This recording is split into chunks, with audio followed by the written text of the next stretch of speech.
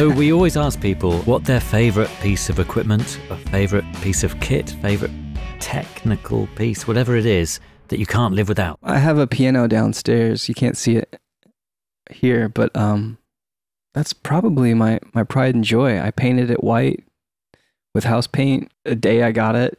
Right. It's just like a nice uh, Wurlitzer student upright piano. And my grandparents had a Wurlitzer growing up, so I just knew that I like that sound. And Mm. Wurlitzer's got like a nice, nice sound, warm, not bright kind of thing going on. So it's got that clanky sort of pub piano vibe, Mm. and it's less formal. It's not a pretty sound, but like it's nostalgic at the same time. And I actually don't keep up with the tuning and kind of like it that way.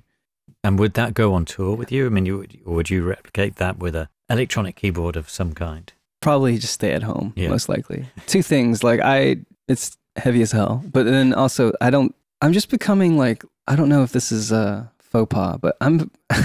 but with live sound, I'm just not a big. I'm not a big advocate of like more microphones on stage because it just gets boomier and boomier. So I'm just like, if there was a piano, I would just do like contact mics, closed lid, like even behind like a drum shield or something. Like I'm just like so not into live bleeding sounds, but I guess that's live music for you. The other question we always ask everybody is whether they have any advice for people. I just want to just stress the importance of um, a music community. It's so easy these days to just sort of be a solo musician or a solo act, but like really for us to really sort of create any sort of buzz in our cities or towns, like it's only going to happen if we do things together, whether it's collaborating in the studio or playing shows together. I think um, that's the, the biggest thing that I can take away from all of this. Even looking at all of this chillwave stuff, like sure we're all solo acts, but we were all sort of